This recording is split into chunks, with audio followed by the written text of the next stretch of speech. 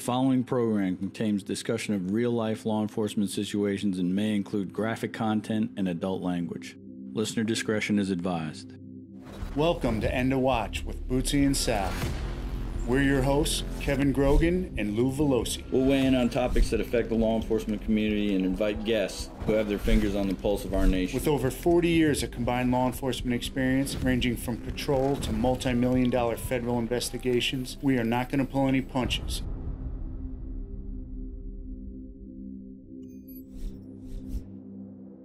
Just want to give a quick shout out to our boy Chris Tucker. Uh, Chris Tucker is a former Savannah Chatham Metropolitan Police officer who is running for sheriff of Pickens County, Georgia. And I, you know, we always talk about not being political. You know, we're not political guys. We don't get there. You know, sometimes I don't even vote unless there's something uh, important going on. But Chris Tucker is the real deal. You know, he, he's a guy that put it all out on the streets here in Savannah, Georgia.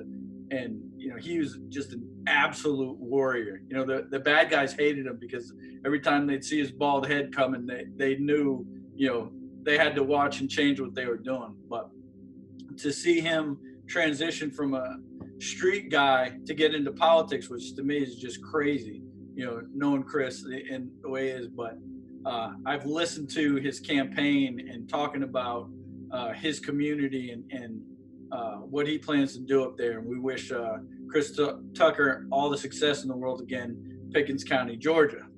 But I digress. We got a very special guest here, and Sal, I'll let you take it. Yeah, so vote for Chris Tucker. He's a pipe hitter for sure. I remember him on the streets. Um, all right, so today we finally, Bootsy, have one of our uh, few successful guests. Most of our guests have not been very successful. They're always in trouble yeah, too. We, we got a guy who's right, always jammed up, who is successful, and uh, again, full disclosure, a guy who I knew 30 years ago in my young days uh, out in Los Angeles, running the mean streets of the South Bay. Um, and his name is Mo Gallini. Mo is a successful actor. Uh, and he's played a lot of parts, and Bootsy's going to go over the list. He's played a lot of parts of guys who we've had on this podcast, Mo, because if you look back at our guests on this podcast, we've had a lot of military guys, a lot of law enforcement guys, and a lot of victims of the justice system, guys who've been incarcerated, uh, incarcerated wrongly, in our opinions. Because what Bootsy and I do in this podcast, Mo, is we like to point out the good, the bad, and the ugly, uh, it, just in the in the justice system here in our country. Uh, great successes. Uh, Bootsy and I both had great successes in our careers. We both had great failures, um, and we've seen uh, the justice system work in the right way, and we've seen it work in the wrong way. We both Uh, agree it's the best justice system in the world, Sure. but it's got some issues. Yeah, and we and that's you know we we bring people in. We like to talk about it and point this out. You are the second actor that we have had. Uh, we had Billy Smith on here, who was recently in The Irishman, who was also in The Departed, uh, who's played a lot of. He hasn't done as long as you. He's played a lot of great roles like you have, um, and and so we want to branch out and start talking to actors because Bootsy Bootsy is a wannabe actor. Mo. I'm going to tell you that right off the bat. I, I don't like to brag, but I I am in a film with two Academy Award winning actors. Just hasn't been released yet. But Yeah. I'm in I'm in a movie with Mira Sorvino and Richard Dreyfuss. It's hard to beat. You know? it's a non-speaking role for sure, Mo. Um, Way background. so, so first of all, welcome to the podcast, Mo. And can you introduce your daughter? We got a guest plus one. Yep. Thank you guys. Uh, thanks for having me. This is my, I guess, your special guest as well. This is my daughter, Ophelia, who is feeling a little under the weather today. I don't know if she was acting, but um, at home, we're trying to figure out what's going on there with everyone getting sick lately. Um, so, yeah, thanks for having us. You know what, man? You, you struck a nerve when you were talking about your show. Um, this is a part of my life that you know how you kind of block stuff up um, and you forget about it um, my dad was incarcerated and the story when i was a child i didn't even know that he was in jail um, but the story was they were trying to get this is in Miami in the 70s, coming into the 80s, and they were trying to get a big heroin uh, supplier. And they kind of took everyone down who worked for him. My dad kind of worked in a body shop uh, with that this guy owned, and he kind of got caught in that domino effect. And and I know, I know that it, it affected his life because he um, he kind of held that you know that un- unjust that you're talking about this injustice of kind of being in the wrong place at the wrong time and you pay the price as the dominoes fall you know so thanks for striking that nerve it's it's easy to get up it's easy to get caught up in that system but miami you know late 70s early 80s that's you know the cuban crime wave is is was yep. big down there and your your mother's cuban correct Yes, sir. You go by Mo, Mo Mogolini, but that's that's not your true name. No, my birth name was Mohammed Galayini. My dad was from Lebanon. My mom was Cuban. They met on the beach in Miami, and you know that was that was home. It was a small country town when I was a kid there. Now it's, you know, you need to speak Spanish first when you go down there. Right. Hey, Mo. Yes. Before I want to ask you and just talk to you because we want to hear about how you got into this, right? How you got into this career. But first, I want Bootsy to kind of run down because it is an amazing resume you have, man. This is a this is a long and distinguished, and I'm I'm gonna skip somewhere. We'll be here for the entire time. But go ahead, Bootsy. You started out uh, as a Notre Dame football player in the all-time classic, one of my favorites, Rudy, with Sean Astin. You're in yes, Crimson Tide. That was uh, Crimson Tide, Sean Connery. No, no, no, no. That's oh, not the right one. No, Crimson. Denzel. Yeah, Denzel Washington oh, and, and Gene Hackman, right? Gene Hackman, Viggo Mortensen, Gandolfini. It was, it was, uh, it was uh, every day was just a lesson to watch these guys go at it. Oh, like, like I said, I, we're gonna edit out. We're yeah, gonna edit out where I said Sean Connery. That's dis- a rare mistake. Distinguished is is putting it lightly.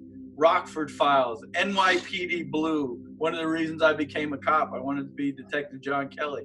Yes. Uh, Melrose Place, Brooklyn South, Mike Hammer Private Eye, Beverly Hills 90210, The X Files, End of Days, VIP, A Better Way to Die, Jack, General Hospital, Nash Bridges, Mulholland Drive, The District, Too Fast, Too Furious, 24, NCIS, Marco Polo, ER, Get Smart. So, man, yeah, I could go on for days. CSI New York, NCIS Los Angeles. Drink of water, man. Take a drink. Go over some of the recent ones, man. It would have been quicker to read uh, movies you haven't been in. Chicago Fire and the new MacGyver.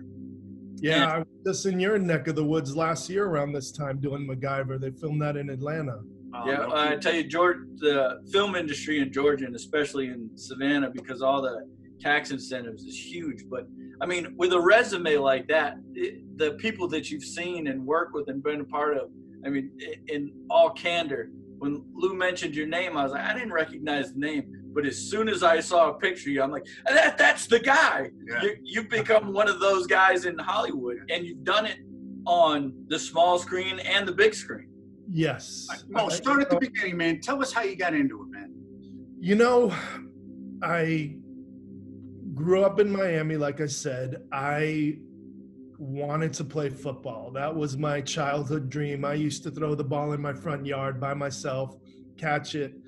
Uh, played, went to the state championship um, in high school. Um, that's the path I was choosing. My sister, who was a year and a half older than me, she wanted to be an actor. And she moved to California right after high school I went off to college, different path, and um, I I followed her out to Los Angeles in 1985, end of 1985. I was a 19 year old kid, and um, my my sister was part of this group called Young Artists United, and it was Robert Downey Jr., uh, Sarah Jessica Parker, like all the people who Rob Lowe, all these 80s you know, kids who were just hitting it big. And I remember going to a, a party at, it was after Top Gun. It was at um, Meg Ryan was living with Anthony Edwards, who was on ER. Yep. Mhm. Played. They were in Played Top Gun. Goose. Yeah. That was Goose, man. couple. Um, he played Goose, yeah. So I was at a party at their house, and I met a friend who was also in this group. Uh, his name was Doug Warhit, and he was an acting coach. And I had just moved out here, didn't know you know many people. And he said, "Come to my class," and I was like, "All right, let me check this out." Like I didn't know what it was, and that class was just so raw for me. There was such a good core group of people that we stayed together for years, just learning what acting was, and we would write our own stuff. We would we would perform it. Um, but then it was this weird dichotomy because I didn't know what an actor was. Like, what did it mean to have a job as an actor if you weren't a star? You know, you know, you know who a star is, but you know, I used to go to this gym, and the guy who would sell um, the sales there, he said, "Oh, I'm an actor," and I'm looking at him. I'm like, "You're always here working. Like, what does that mean?" So I was having this big conflict of like, is this what I want to do, or is this what I'm I'm I'm doing to hide from doing anything else? And I just I stayed in that place for a few years, just acknowledging, like I really like tapping into whatever I tap into when I do my work. And then it was just like, okay, I'm gonna do this. And back in the day, you know, I used to, sn- I had no credits. I would sneak onto all the lots, drop off my picture, and say, "Hey, you know, I'm here." And um, you know, I ended up getting the de- the the job in End of Days, and I got to fight Arnold. I got to sit down with Rod Steiger, two-time Academy Award winner, um, because I walked in the office, and um, I was kind of fearless in the beginning because there was no rules. You know, everyone else if like, you don't know any better, man, you just stick your nose into it. you just do it and you just start doing it um you know and then after years you start doing more stuff and you think that's not you know you don't need to do that anymore but i can always go get myself a job before anyone else before my agents or anything i can go and find a job if if i get off my butt and just you know hustle just like anything else you have to hustle So it's a whole different skill set of going and going. But when you're there and you you're in unfamiliar territory, you know, it takes a lot of guts to do that. Big time. You know, it sometimes it takes a little ignorance, like ah, you don't really know that you're breaking the rules, but it takes guts to stick your face in when you start talking about guys like you know Arnold Schwarzenegger and that kind of stuff. Like, hey, you know, I'm Mo. I, I can play this part. and a good point is that you couldn't do that today. What you did. I mean, I'm sure things are different. you can't uh, you can't sneak on the lots anymore like i remember specifically knowing when everything had changed it was it was a week after 9-11 and i was i had an appointment to go audition for the the second silence of the the lambs the hannibal movie that they made Hannibal, Yep. Good. and it was at the Sony studios and I remember driving up to the to the lot and I, I had an appointment but like they had all these dogs sniffing dogs and uh, the sniffing dogs and like the camera uh, the little mirrors that go under your car and it was like it was heavy to go in the into the studios and I got to the to the gate and they go uh, can we see your ID and I had never been asked for my ID before and I thought they were asking for the for the like my ID that I work here. I was like, no, no, no, I just have an appointment. And then realizing that my acting name is different than my real name on my ID, and I pull it out and I'm like Mohammed Galayini. I was like, oh, my life's gonna be different from now on. Yep. Oh yeah. Yep. You have to start like, you know, you have to make people aware. Like I have to check, you know, every time I fly for a job, I have to make sure they have my correct stuff. And you know, it's just it's a different world. 9/11 changed things for everybody. Uh, Yeah, yeah. Especially if your name was Mohammed, Yeah, I was gonna say. right? Um, yeah so- and you didn't you know i changed my name in the beginning because you know coming the early the late 80s early 90s you know the gulf war was just a few years out and and um it wasn't kosher to be mohammed galayini Like now, I think it would help if I had that name because they want the Yep. ethnicities and there's that kind of role. But I don't want to limit myself because, you know, I'm half Cuban. I, am fluent in Spanish, Arabic. Like wherever I can fit in, I want to sneak in there. Absolutely. There's a lot of different angles you can you can hit it from for sure. Yes. So, brother, bring us to the question. How, how do we get to Rudy? Rudy? man? Yeah, let's That's go to Rudy, man. Tell us how that came about, and just tell us a little bit about it. Rudy, I was working at this really exclusive little uh, nightclub at the Santa Monica airport. And the director, David Anspaugh, he used to come in all the time. He was going through a divorce. And me and my friend Kenny would just sit there and talk to him. And, and you know, he did the classic movie uh, Hoosiers with Gene Hackman. Mhm. we know we know who he is and all and he goes i'm getting ready to do this football movie in indiana he goes i want you guys to come so we show up in south bend and well first of all there's more to the story so i had to aud- audition for this role in the movie and it was the only real person in real life that wouldn't get um, give them permission to use any of his his name or his his likeness in the movie. So they had to to redo the part. So i didn't get that role because of this guy. He was the italian backup quarterback for notre dame. So they changed the part and they were still like i was already in indiana and they didn't know what they were doing with this role. And that role ended up being turned into this guy and he was a running back now. And that's the part that vince vaughn ended up they brought vince vaughn. He was young you know young kid, and he came in to do that part. Um And he was kind of geeky looking back then. he was skinny really oh there's a, Yeah. so the story the story is that so in this part he at the end of the movie to get rudy to come into the game he's the running back. They do a pitch out. He throws the ball to the wide receiver and they score a touchdown and that gets the defense back on the field. That's when everyone starts chanting for rudy. But vince couldn't throw the ball. So you're dealing with a bunch of football players and that happens and they're like ah.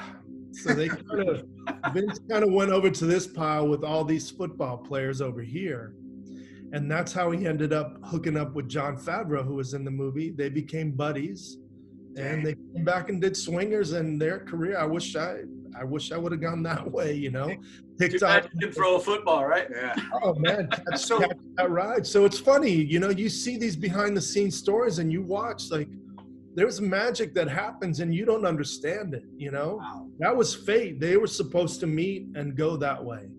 No doubt, man. So they pulled his man card because he couldn't throw a football, and he ends up pairing up with Jon Favreau. And And the rest is history. The history. rest is history, man. But you know, like I had so much that's still to this day one of my favorite experiences because I didn't know what movie making was. Hey, is, and is you're the pop girl taking her? Is she taking some time off there? There were props earlier. Ophelia, where's your props, man? Oh, where's the prop? Where's the Rudy jacket that ah. you're gonna bring? So I have my uh, my Rudy feature film jacket framed. They put it like an old Notre Dame, uh, uh, like Letterman's jacket. Yeah, they yeah, gave yeah. to us. I don't know if you guys can get a good see. It's kind of wrinkled up in here. There's a lot of light. What a what a That's great awesome. experience. This is, the back, this is the back of the jacket. On the front, it has the Notre Dame helmet. Yep, uh, that's so great. cool. So, Yeah. oh, you you do Rudy. You s- now you start getting getting roles in like great TV shows and great movies. You got a good look. So you got first of all, you got a, a tough guy look, right? So a good bad guy look. And Well, the thing is, like, you have to realize, I shaved my head uh, when I was 26 years old. I saw this movie. I don't know if you guys are familiar with who Luc Besson is. Luc Besson did The Professional. He directed The Professional, Yep. The Fifth Element, all these big movies. Before The Professional, he did this movie called The Big Blue. And Jean Reno, who was the professional in that movie, was in it. And this young guy, his name was Jean Marc Barr and he had a crew cut. So you have you have to realize I'm a 20 something year old actor with my Elvis haircut. I'm going into all these rooms. Everyone looks the same. I don't understand whatever's going on. I see this movie and I just see this guy's face is so strong when he has this crew cut. And I go to my friend who used to cut my hair. Her name was Kelly at Carlton Hair back in the day. And I said, cut my hair off. And she wouldn't do it. Like she she cut it, but she left it, you know, kind of the same. I left there, went to Target, bought a hair clipper, and I buzzed my hair. And no one had hair like that. I mean, Yep. Telly Savalas was when I was a kid. That was the one bald guy, Yul Brynner, and no one else had that look. And I just wanted to, you know, jump into that, and that's how I started. Now everyone has a bald head, but Everyone. when I started, it wasn't common, and I just wanted to distinguish myself from from everyone else that I was competing against. Now, it's an interesting perspective because you walk in there and everybody looks the same, and you're type. So, you know, Yeah. what can you do to stand out? That's good strategy right there. Yes. So, you know, then I started being put in this box of being the bad guy. And and you embrace it in the beginning. There comes a point where, you know, you want to branch out, but Right. people, you know, they see you a certain way.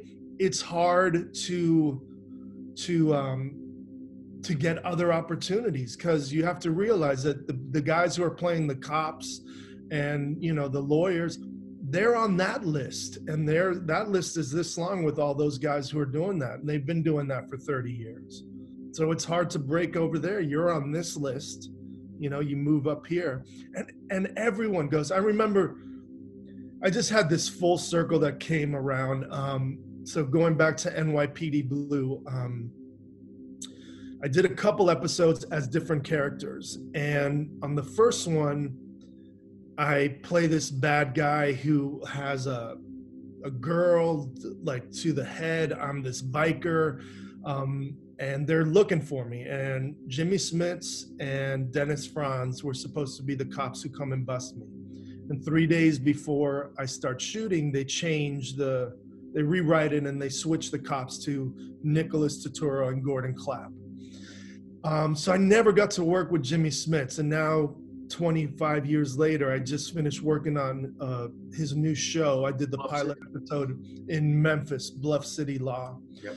But I had met him on on the set, and we we had this great conversation, and he was saying, basically, to summarize it, like he he had gone on on all these plateaus and you move up and your competition is is smaller. And then you get to the top of this plateau and your competition is like let's say five or ten guys.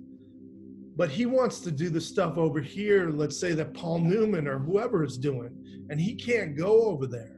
Like he's not on that plateau he's over here so you stay and you do what they allow you to do here and I've kind of always used that as an example. Like that's how I feel. Like you climb up this, you know, these these levels, your competition gets smaller, but then you're just here. They know you for this work, and that's what they bring you in to do. It Yeah. makes sense, man. No, and, and and Jimmy Smits was red hot then, right? He was wasn't he L.A. Law? But LA Law, that, he did- before- LA Law, and then you know that's when the the first year that um that Caruso left, and they brought Jimmy That's Smits right. in for Yeah, the second brought- season. So it was that, Detective Bobby Simone, and when he, Yeah. man, it, one of the worst days of my life was when I saw the episode that Bobby Simone died on. Man, it crushed me. Yeah. Hey, good career move for Caruso leaving NYPD Blue, right? I hey, you know, he got his thing on CSI Miami. You know, yeah, he did eventually. They Yeah, took it off, did, but- yep. Yeah, no, we had a similar conversation with, uh, you know, our buddy Billy Smith.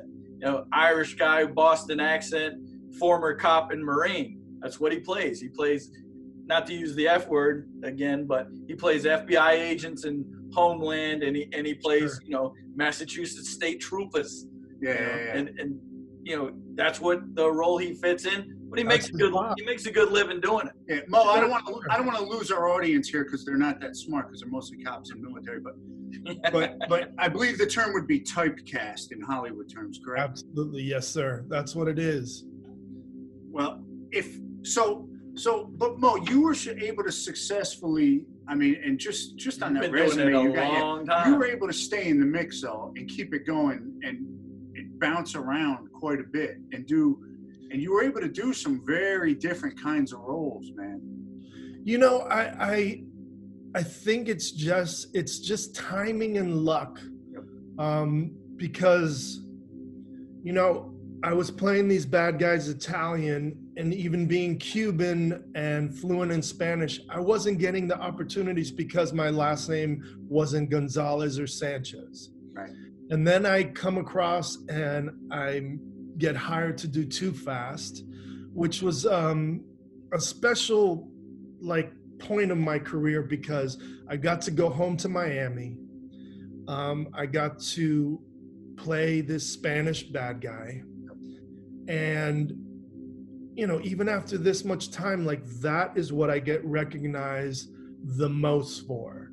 I mean, that was Don't- huge. You don't realize what it was. I remember I had just done End of Days with Schwarzenegger, and I got sent this script called Red Line, and was the first Fast and Furious. And I read this, and I was like, okay, whatever. You know, I didn't think anything of it. Then the first one came out. It was a hit, but it still wasn't anything. So then I get to do the second one. Vin Diesel bows out.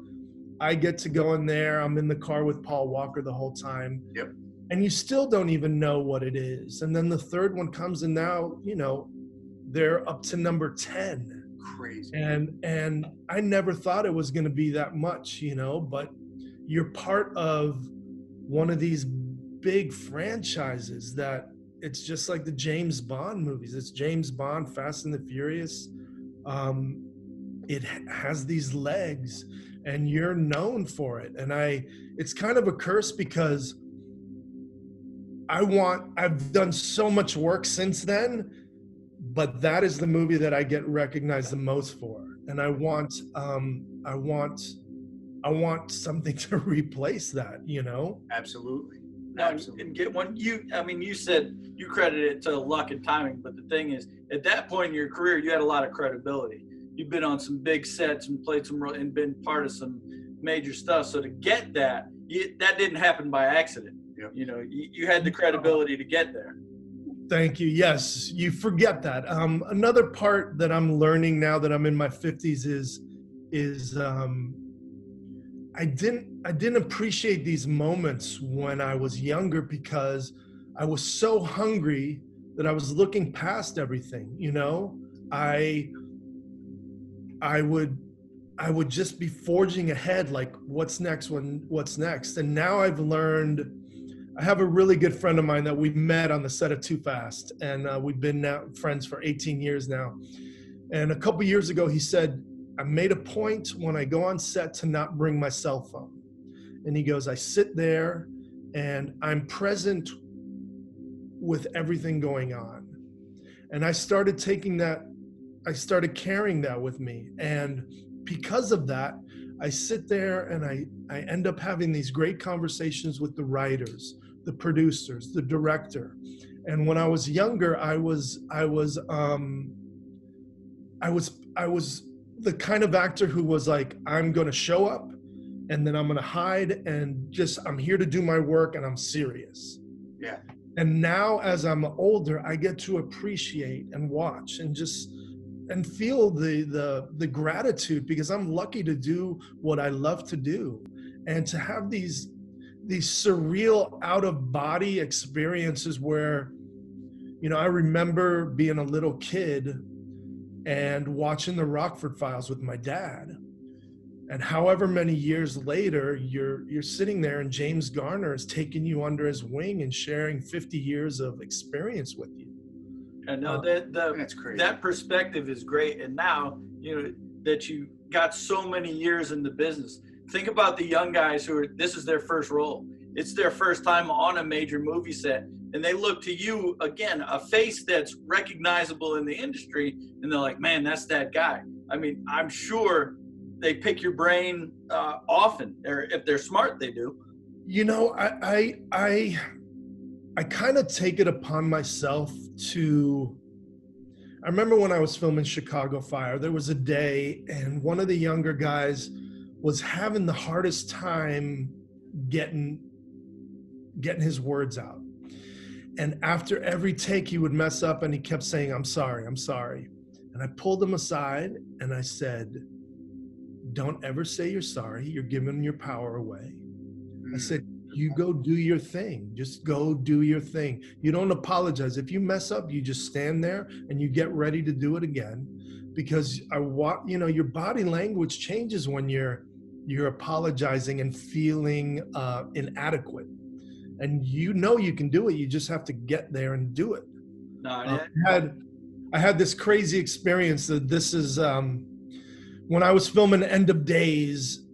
I, I was there for weeks because Arnold, like, he had his bodybuilding show going on, the one that he did, um, Columbus, Ohio. Yeah, Columbus. Yeah, that one. So he kept kind of coming in and out, and like had, was paying a lot of attention. So, and we were filming in this huge church in Koreatown, and not knowing when we were going to get to this part. And they had given me this huge monologue to learn in Latin, and they had a Latin coach for me. Um, I was like, yeah, I can do this. I was excited to do something like that. Um, and I, I was not knowing when we were going to shoot that. So one day we're in the church and they were shooting something and they they were about to turn around and they go, "Oh, we can do that thing right now. Let's do it right now." And they're like, "You ready?" I'm like, "Yeah, let's do it." So you have to remember 1999 was, you know, mm, 99% of the things that are shot today are on video. It's not film like it was back in the day. So 1999, we're shooting on film. So there, you know, everything costs so much money. It's Mhm. it's um, it's it's expensive. It's time consuming. It's it's they have to line up everything perfectly. So I am standing on the the pulpit of this gigantic church to do this this monologue in Latin. Everyone is standing below. It's dead quiet and they go action. And I blanked. And all I heard was that silence. And my heart, I mean, I'm feeling my heartbeat. I've never had an experience like that. It's a big, like, probably my second biggest movie that I'm doing at the time. And I'm freaking out. And then I, the, the, the Latin coach was there, and I just said, you know, what's the first line? He gave me the first one, and then I did it. But for years, I remembered that silence, and I promised myself, I don't ever want to be put in that position where they're waiting for me. So I make sure that I know my lines. I make sure I know everyone else's lines. I put that much pressure on myself when I got a job because of that that silence that I just felt so responsible for. And I didn't want I didn't want anyone to look different at me like I I couldn't do my job. I think people underestimate the the difficulty because you're just reading lines, you're just up there. But you know, having seen uh, a couple, you know, and lose non-scripted life of acting with bad guys, you know, it's it's a there's a little less pressure because you know it can flow. You can say what you want, but there's huge pressure because of the dynamic. But the amount of influence that movie scenes have in today's society is is tremendous. I mean, I know anybody, I can talk to anybody about a certain movie, and they start to quote things. They start to throw it out, and they go, you know, when we start talking about courtroom scenes and that kind of Jack Nicholson and A Few Good Men, and everybody starts quoting all these lines. Our society is so focused on those things that those scenes. I mean, what an impact they have on, on the world today. Totally. I, I was talking to a friend of mine about the movie True Romance, and I was like, you know, two of my favorite scenes are in that movie. You know, you have Dennis Hopper and Christopher Walken going at, uh, at it with that Chesterfield moment. Um, Not and a then- favorite scene for us Italians, by the way. and then, uh, you know, to see Gary Oldman as this Rastafarian. That was awesome, man. That you know it's like that's and i'm like sitting there talking to my friend and she had never seen this movie i was like what you don't know and i start going into like just what you said you start you know you start bringing it to life.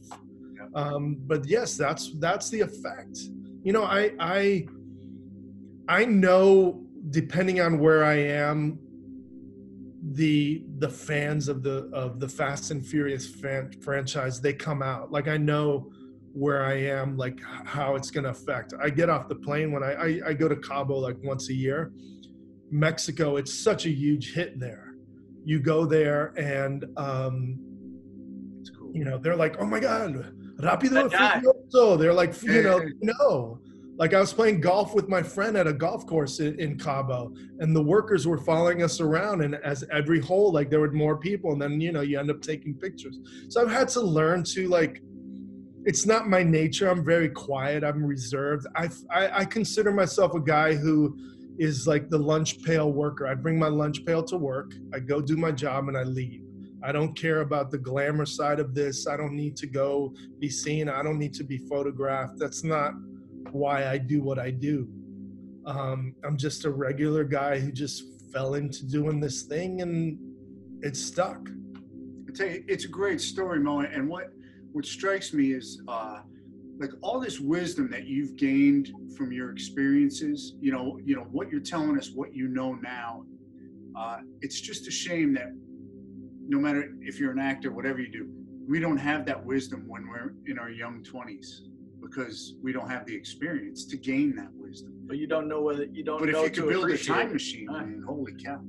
Well, no, I just think, look, I have my little one here next to me, and um, I try to teach her my life lessons. You know, like when I when I have to get into a conversation, I I, I always explain what my logic is. I'm like, do you understand? Like, I'm not I'm not angry at you. I'm just trying to teach you something. Yep. So you don't have to hear it anymore, and I don't have to say it anymore. No, and parenting in this day and age is, is different than when we grew up. Oh my sure. god! But the inclusion, you know, it's no longer kids aren't to be they're only to be seen, not heard or anything like that. To to include kids now, I think is invaluable. You know. So welcome to your first podcast experience, by the way, young lady. And Ophelia, I already know you're gonna you're gonna be a fine young lady. I can tell already. Thank you. I see it in your eyes. I'm uh, I'm very lucky with this one. I she's amazing. so Miss Ophelia, I got I got a question for you. Uh, After seeing your dad and all all these movies and on TV and stuff, is there acting in your future? What are you talking about? You don't know. You're in a play right now. Okay, so let me talk. Oh, sorry. Whoa! Take it away, Ophelia. Let's hear it. Um.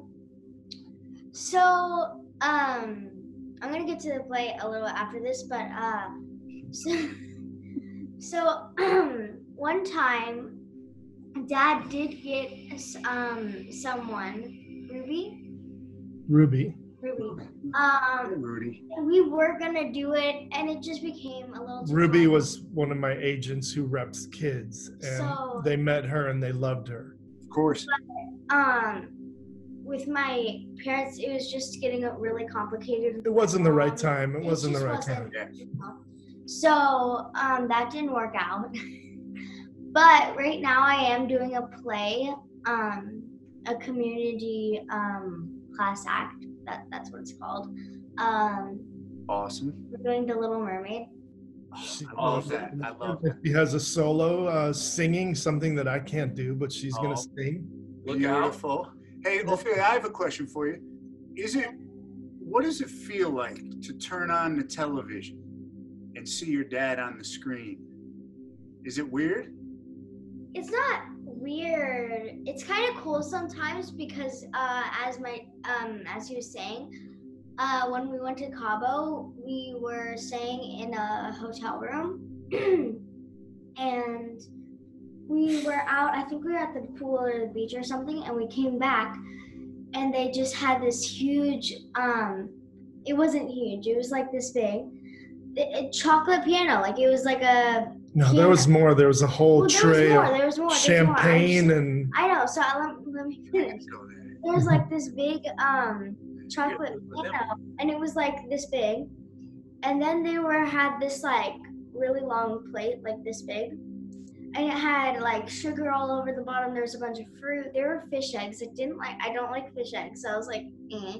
But they were like two big glasses, and they were full of sugar, and there was like chocolates. And I, I remember I like took a chocolate and I was like dipping it in the sugar and there were like fruits all around the bottom. It was pretty cool. So those Uh, are the perks of hanging out with a cool old guy, huh? Yeah. Yeah, they sent that and they said welcome, and it was yeah, it was a nice, nice gesture. That's why I covered you.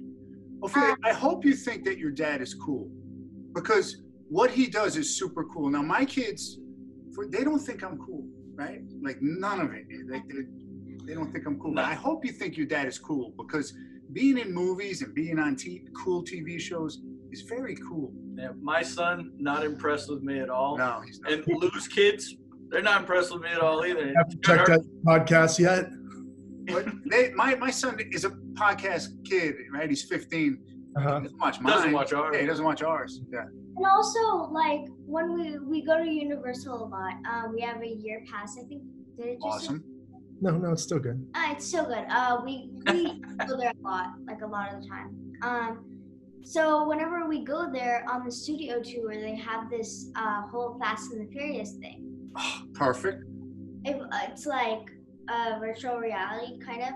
Um, you have like uh, I should say 3D. It's 3D. And you have like these glasses that you put on, and you get to go through and. Is Universal paying you to like promote this? Or what? It's kind of awesome. Yeah. Any, anyway, so I see the Universal banner coming across. Right. We'll have the producer put it on. Yeah. So, good, good plug. Yeah. Um, so it's just cool to see um like one of the mo- like it's a pretty famous movie to be in like the Yeah. what is it called studio tour. yeah, in, yeah, that um, you're you're part of that. You're part of history. when he was like in there. Um, it's it's about um this dude. He's actually bald like my dad. The Rock. No, no, I've heard of him. Uh, different dude uh. different dude and there's like this uh, car and he's been he's like a criminal and and his car was like parked in front of this old like rundown place and and inside you would go in and the driver like pretend that there's like this is actually a criminal about like it's just a story So, take yeah, off of the yeah the, to the make it seem like fun yeah. so you go in and they have these big like um white kind of screens here and they would project these 3D things um of the people in the Fast and Furious. Um I forgot the girl's name, but uh The Rock, Vin Diesel, and the criminals. Never heard of them. Yeah. So they would just you'd go in and then and then the bad guy would come and you'd have to like do a big like car chase. Yeah, it's Um, cool. from and they have the cars for the movie like out there, so they have a couple is fancy paths there. And then they show you like all the all the cars from the movie. She just watched uh, over the holidays, a Christmas holiday. I showed her Chicago Fire. She hadn't Yes. seen it, so she watched the from the beginning when I was on it. So that was fun because she was two years old and she. Uh, do you even remember coming?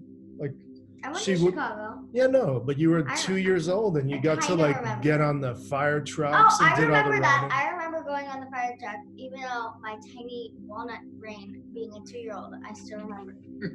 Yeah. Ophelia is going to be a star. Yeah, man. I'm I- telling you right now, I can, I see it. I see the star Ophelia, power right you're there. awesome. I'll tell you, young Hey. lady, the, the other thing you need to do, and what you're really, really, you're lucky and you're blessed, is years from now when you have uh, your own kids, you can show them your dad's body of work, and I can imagine that's going to be a Oh, lot cool of fun that? for you.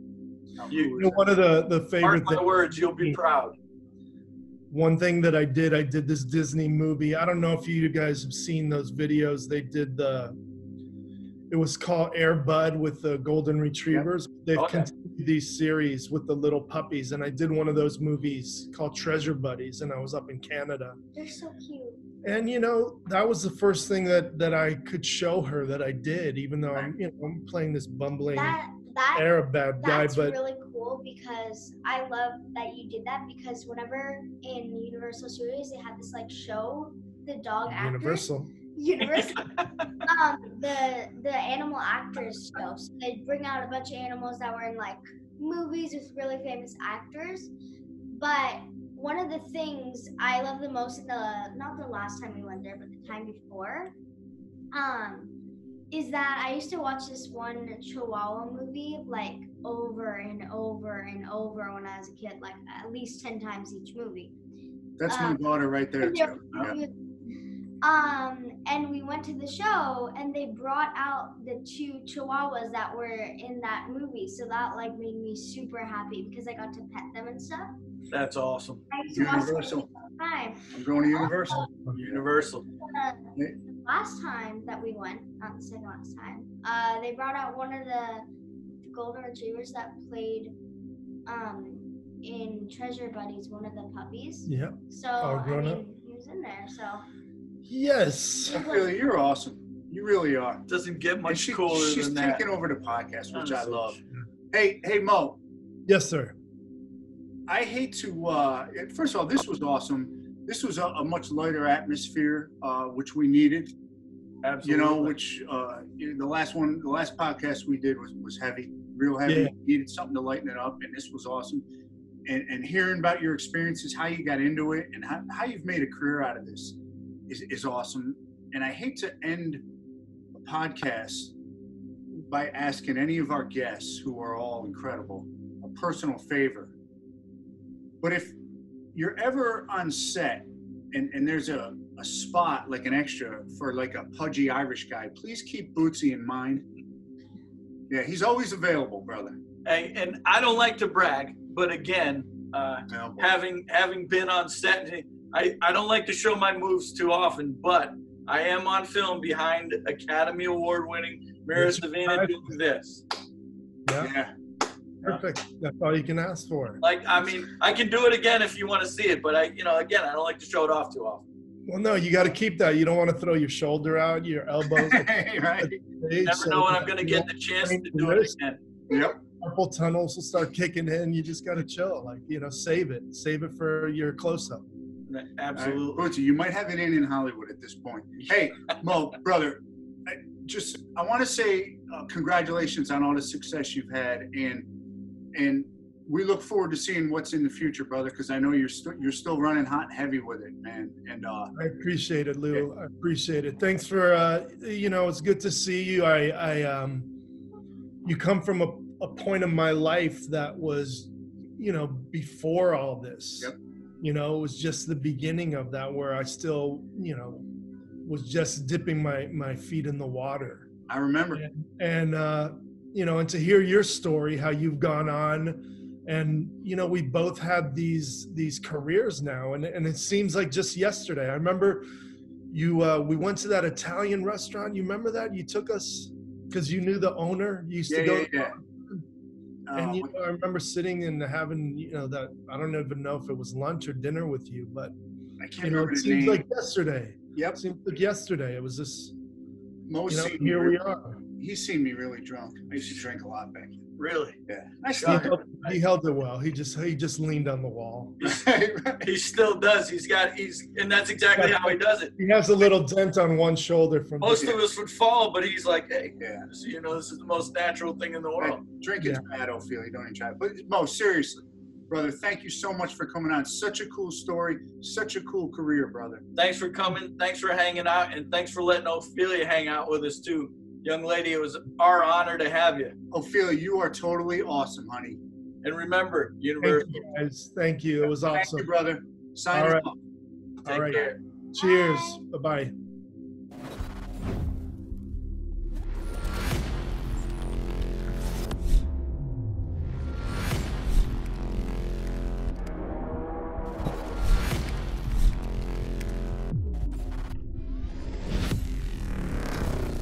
End of Watch with Bootsy and Sal. Available on Apple Podcasts, Spotify, YouTube, and more.